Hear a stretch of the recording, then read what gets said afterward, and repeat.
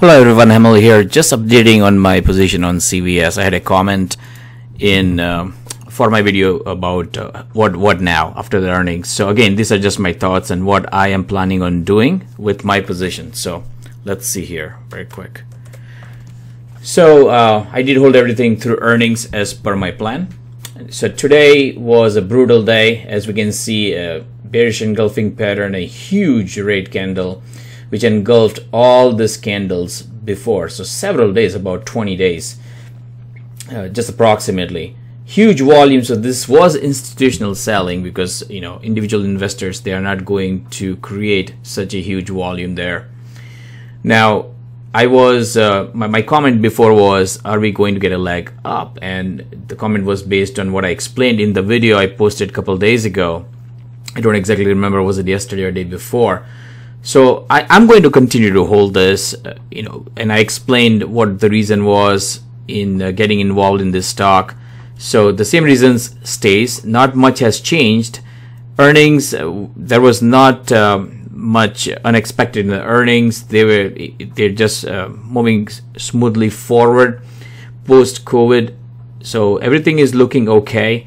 Now there wasn't any upside surprise. So obviously, so we didn't get any benefit out of the earnings report. Now, another thing very important in my opinion is to look across the sector and see what other stocks did. So none of the other stocks helped CVS's cause either. So now this is down almost 5%. When you look at uh, best-in-class United Healthcare on the insurer side, that was down 1%, 1.1%. And I was hoping to see this move up to 50-day moving average. Obviously, that's not what is working now. So we'll have to see. So when you look on the insurer side, uh, you can see United Healthcare was down.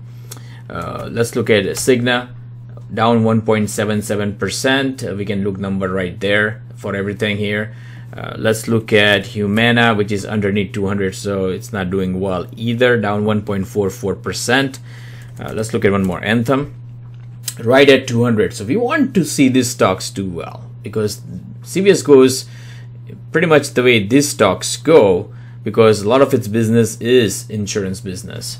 So Anthem was down 0.36%. So we want to see these stocks find support at least at 200 moving average. Looking on the retail side, we have Walgreens here, which was down 2.46%, and then Rite Aid was down almost 10%, so 10.05%. So as we can see, all this did not help CVS's cause either because the entire sector was down. Now, the implied move was between uh, these two lines, and I had posted. Uh, I do not believe I covered in this this in the video that I had posted, but I did send a tweet out yesterday explaining the implied move as per options market. So I was expecting a move within this range. So honestly, this is not unexpected. As you can see, it found support right at the lower lower end of the range. However, I was hoping it will go the other, other way. It did not go. Obviously, we don't always get what we want or what we think. I still, based on my analysis that I had posted, I still believe CVS moves up. I don't know exactly when. And we don't really know which path this is going to follow. Does this come down more? Does 150 day moving average catch up? Does it find support at 150? It consolidate and then move up from there so we don't really know. So next couple days would give us more flavor. And then let's see how this week closes, which would also give us some flavor. Now, when we look at a very long-term trend, we can see this is a monthly chart. We can see a nice base, solid base forming. Uh, you can say it's a double bottom, it's a W. You can see, you know, it forming a W, so there should be some kind of consolidation here. And then if it breaks through, uh, that $70 $76 value then it, this can go substantially higher. It has a lot of room to run.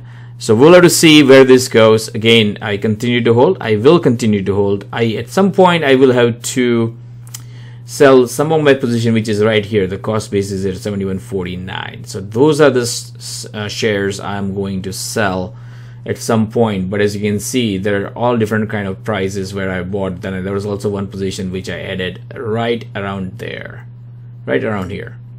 So I need to mark that as well. So that is all I have. Uh, I will update if uh, if I see something important and I hope uh, it works out for us at the end of the day. So I hope everyone is doing well. That's all I have. Take care.